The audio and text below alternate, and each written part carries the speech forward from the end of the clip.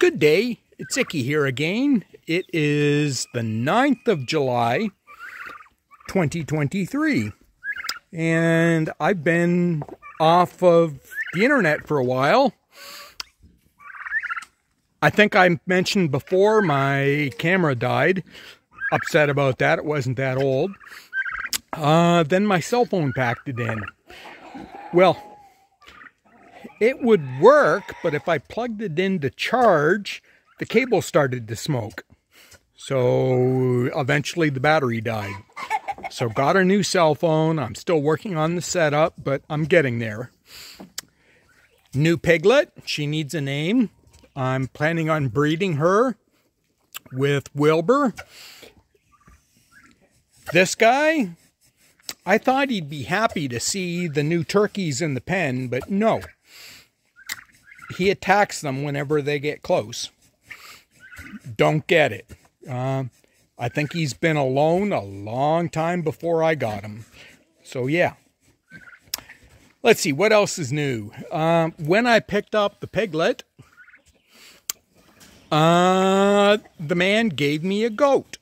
It had been damaged in a feed accident. He said it got its leg caught in a feed auger. Um, it was healed up. We butchered it, and when we butchered it, we checked it out, and there was vast chunks of muscle missing off the back leg. So he was never going to be able to walk again. So he's in the freezer, and he's good. I've had a few steaks. Um, I would guess by his development about eight months old. So not real big, but hey, the price was right. Yeah. Anyways, um, let's see. What else is new? That piglet needs a name. Please, people, suggestions. I'm going to have her for about a year and a half, I think. Uh, I'm trying to catch the ducks and put them in the old turkey building, but I can't catch them. I've only got two out of the many that I've got. So I actually ordered a fish net, fish landing net off of Amazon this morning. And hopefully I'll be able to scoop them up with that. Uh, they are laying eggs. But the pigs are eating the eggs as fast as they get laid. And I've got a market for them. So I want to I want them. Uh, the goslings are still in the cabin. Well, in the bathtub. Uh, they're growing fast. I'm hoping to move them outside in the next week or so. Outside. They're going in the old turkey barn with the ducks. Yeah. Anyways, that's about all that's new and exciting. The garden is doing gangbusters. Um, the germination... Oh, there's Clive, and he's still a puppy, bit of a butthead, picking on the cats, but yeah. Uh, the garden is going good.